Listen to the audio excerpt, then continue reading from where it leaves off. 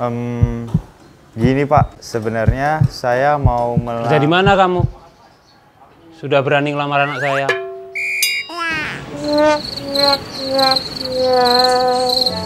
ya.